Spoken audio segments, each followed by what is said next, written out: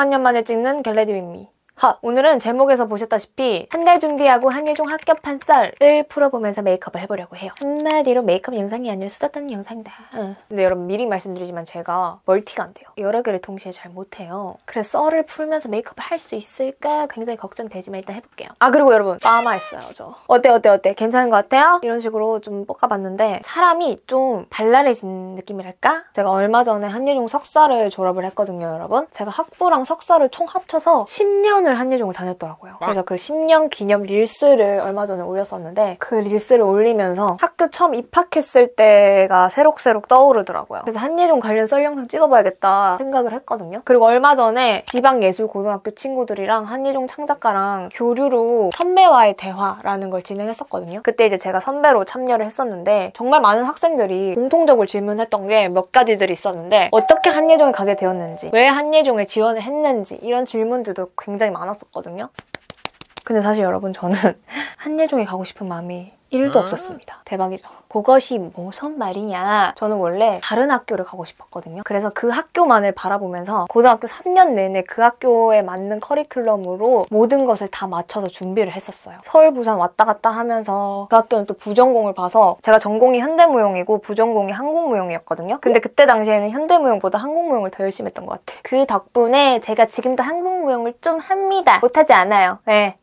어쨌든 제가 가고 싶었던 학교는 따로 있었다. 근데 그 학교는 그때 당시 에 수시가 없고 정시만 있었어, 정시. 그래서 항상 늘 1월 중순쯤에 시험이 있었던 것 같아요. 지금은 수시도 생긴 걸로 알아요. 지금 잘 발리고 있나? 오늘 뭐 어디 가는 건 아닌데 영상 찍으려고 메이크업 합니다.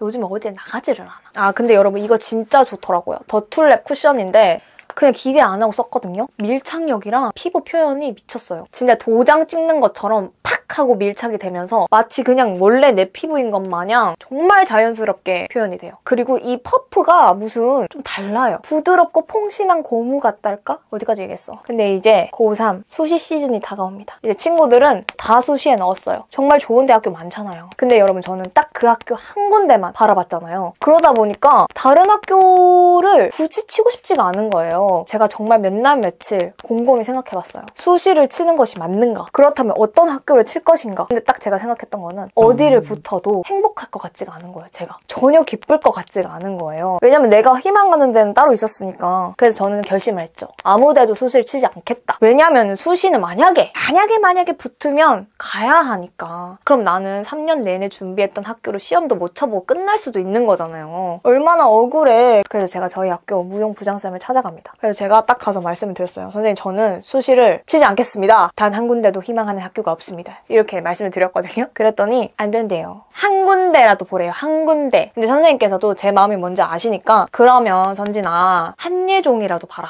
이렇게 말씀을 하시는 거예요.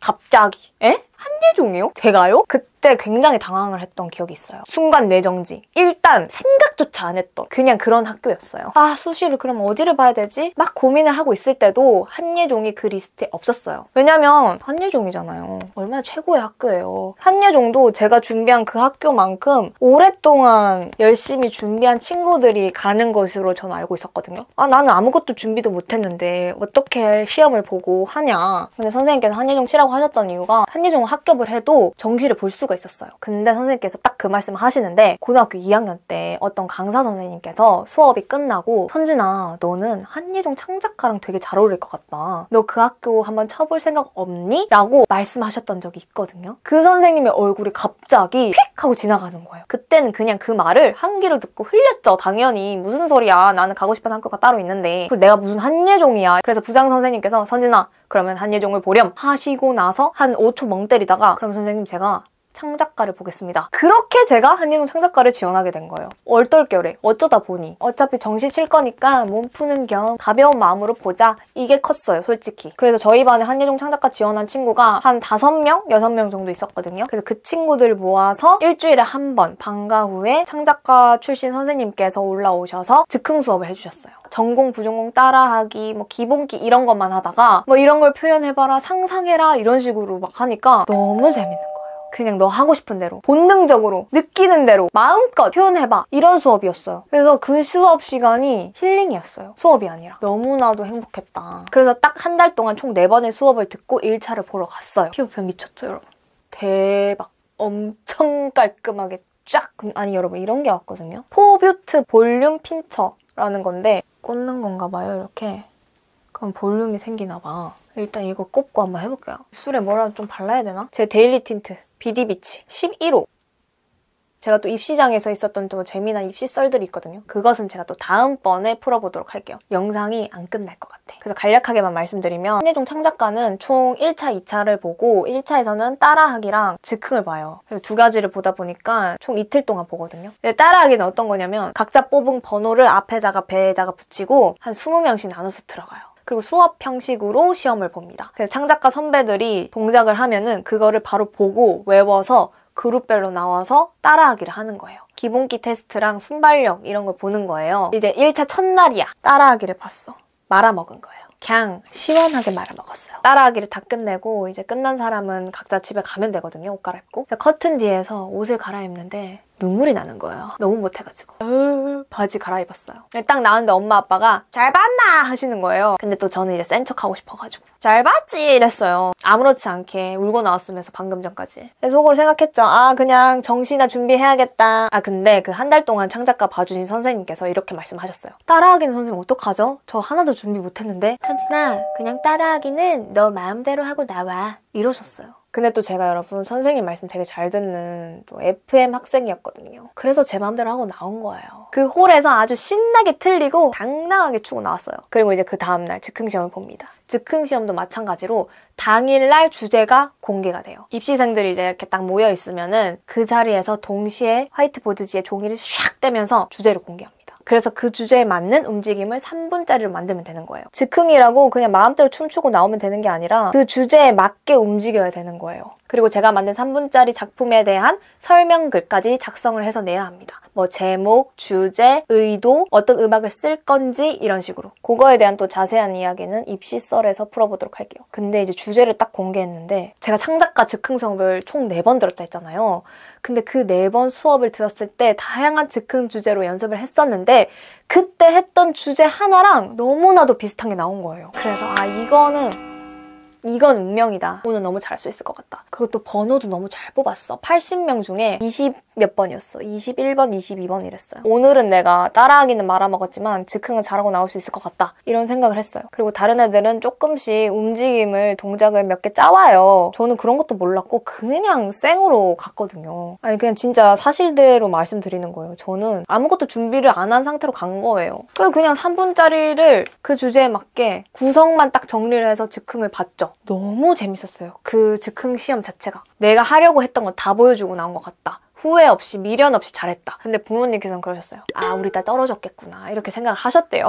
근데 어머나 세상에 1차를 붙어버렸네? 대박. 2차는 여러분 면접이랑 즉흥을 보는데 이제 면접 때 자기소개서를 바탕으로 질문을 하거든요. 그래서 자기소개서를 미리 작성을 해서 학교로 보내야 돼요. 2차까지 거의 한 2주의 시간이 있었던 것 같아요. 근데 여러분 여기서 중요한 건 뭐냐 1차 시험을 보는 그 순간부터 저도 모르게 마음이 한예종으로 갔던 것 같아요. 왜냐하면 창작가 준비를 하면서 너무나도 재밌었거든요. 그리고 저는 그런 게 있어요. 하나에 꽂히면 그것만 파요. 목표가 딱 설정이 되면 그 목표를 위해서 미친 듯이 달려가거든요. 그때도 그랬던 것 같아요. 목표가 있었지만 그 목표를 잠시 미뤄두고 새로운 목표가 생긴 거죠. 그래서 그 목표를 향해서 달려가다 보니까 나도 모르게 마음이 바뀐 거죠. 나 이 학교 붙고 싶다 이 생각으로 바뀐 거예요. 그렇게 3년 내내 준비했으면서 한 달 준비하고 마음이 휙 바뀌어버린 거죠. 그러니까 참 사람 마음이라는 게 참 그렇다. 어. 아, 그 2차 시험 썰도 좀 재밌는데 그것도 입시 썰에서 풀어보도록 할게요. 어쨌든 2차도 잘 보고 나왔어요. 그래서 결과 나오려면은 한 2주를 기다려야 했었는데 막 초조하고 그런 게 아니라 그 결과 기다리는 동안 너무나도 기분이 좋았어요. 심지어 저는 한예종 최종 결과 나오는 날까지도 그 학교 레슨을 받고 있었어요. 똑같이. 어쨌든 최종 합격자 발표 날이 된 거예요. 원래 5시 발표였는데 어떤 친구가 3시쯤에 어? 한예종 떴다! 이렇게 말을 하는 거예요. 이제 반 애들이 난리가 난 거지. 빨리 확인해보자고. 한일 1차 합격한 애들 꽤 있었거든요, 저희 반에. 그래가지고 막 이제 애들은 폰으로 확인을 한다고 막 하는데 저는 사실 그날 노트북을 들고 갔습니다. 학교에. 왜냐면 핸드폰으로 뭔가 결과를 확인하는 게 싫은 거예요. 그래가지고 제가 노트북을 들고 혼자 몰래 현대 탈의실로 갔어요. 그래서 문을 잠그고 결과를 봅니다. 진짜 솔직히 엄청 떨리잖아요. 그래서 저는 엔터 버튼을 못 누를 줄 알았어요. 엔터에 모든 나의 인생이 걸려있잖아. 그때 당시에는 대학이 인생이었어. 근데 생각 외로 어땠냐면 수험 번호, 이름, 요 정도, 요 정도 타이밍이었던 것 같아요. 봤는데 딱 네 글자 빨간색으로 최종 합격 딱 뜬 거예요. 온몸이 깃털 같아진다는 게 무슨 말인지 알 것 같았어. 구름 위에 둥둥 떠 있는 느낌? 진짜 너무 좋은 거예요. 온몸에 소름이 돋으면서 미치겠는 거야 막. 그래서 바로 노트북 닫고 반으로 막 전력 질주했어. 야 얘들아 나 합격했어 하니까 막 애들 복도로 나와서 막 축하해주고 막 미술과 음악과 친구들도 막 같이 축하해주고 누군지도 모르는 애들이 와가지고 야 축하한다 고생했다 하고 막 너무 행복했어 진짜. 제가 아까 처음에 그랬었잖아요. 어떤 학교를 가도 안 행복할 것 같다고. 근데 한예종은 진짜 준비하는 기간 내내 너무 행복했었고 꼭 붙었으면 좋겠다고 생각을 했었거든요. 이제 자 그래 붙었어. 그래서 정시 볼 거야? 한예종 수시 개념이 아니니까 정시를 볼 수 있었단 말이에요. 정시를 볼 건지 말 건지에 대해서 이제 부모님과 선생님들이 토론을 시작했어요.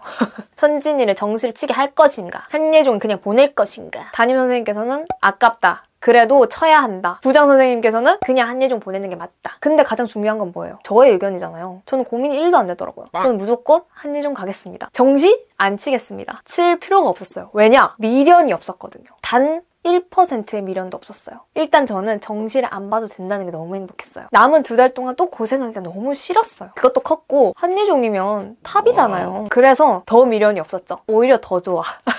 원래 내가 가려고 했던 그 학교를 정말 열심히 준비를 했기 때문에 그 덕에 내가 한예종에 붙을 수 있었던 거다라고 저는 생각을 했거든요. 제가 그 노력이 없었으면 제가 과연 합격을 할 수 있었을까요? 아니라고 생각해요, 저는. 제가 그 학교를 준비를 하면서 정말 많은 노력을 했을 거 아니에요. 다이어트도 열심히 하고 공부도 열심히 하고 전공 레슨, 부전공 레슨 열심히 듣고 서울, 부산 왔다 갔다 하면서 고생하고 그 시간들이 헛된 시간이 아닌 거죠.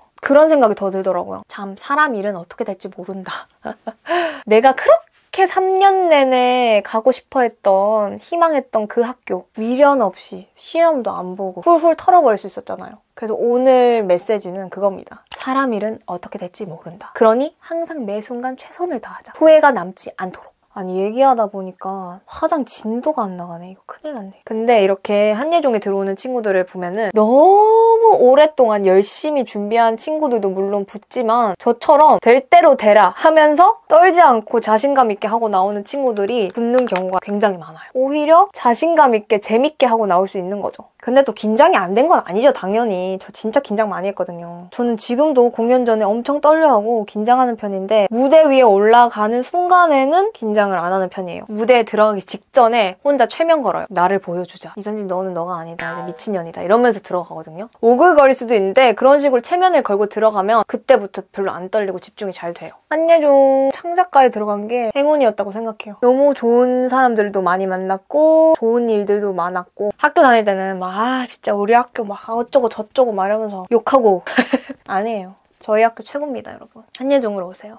제가 또 무용과 관련된 릴스 영상을 재미난 걸 많이 올리고 있잖아요, 여러분. 그것도 굉장히 좋아해 주시더라고요, 많은 분들께서. 인스타그램에도 자주 올리고 있으니까 팔로우도 좀 부탁드려요. 올해 공연이 다 끝나서 그래서 영상을 자주 찍어서 올릴 수 있을 것 같아요. 아직 좋아요, 구독 안 누르셨다고요? 빨리 누르세요. 지금 당장 right now. 썰이 메이크업보다 빨리 끝나가지고 아무 말 대잔치 하고 있는데 혹시 눈치채셨나요?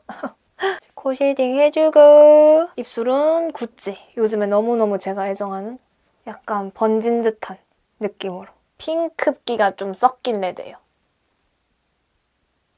그 다음 마지막 하이라이터. 코끝에 하이라이터를 조금 이렇게 발라줄게요. 빔이 이렇게 확 살아요. 색깔이 또 마음에 들어요. 은은한 골드라서 샴페인 골드 느낌이거든요. 이런 느낌? 브러쉬 쓰기 귀찮아서 그냥 손가락으로 바릅니다. 눈썹뼈 톡톡톡. 제가 얼마 전에 블러셔를 구매를 했어요. 이게 지금 완전 보시다시피 아작이 났습니다. 네. 케이스 리뉴얼되고 처음 사거든요. 구버전, 리뉴얼된 버전. 이만한 게 없더라. 진짜 데일리로 딱이에요, 여러분. 약간 뽀용뽀용해지는 게 있거든요. 매일 발라도 예쁜 느낌이야, 이거. 히피펌에서 좋은 게 턱 쉐딩을 할 필요가 없어, 많이. 오케이! 아, 그리고 이 집게핀 계속 꽂고 있었는데 어떻게 되는지 한번 봅시다, 여러분. 뿅! 어? 어, 살짝 괜찮은 것 같은데? 음, 괜찮은 것 같은데 여러분? 아 콧물이 자꾸 나와 미치겠다 오랜만에 찍는 메이크업이라 굉장히 재밌네 어, 좋아요. 그럼 오늘 영상은 여기까지. 즐겁게 시청하셨다면 구독과 좋아요 궁금하신 점들은 아래 댓글창에 남겨주세요. 그럼 우린 다음 영상에서 또 만나요. 안녕! 안녕 안녕! 늘 매 순간 최선을 다하자. 후회가 남지 않도록. 아뿅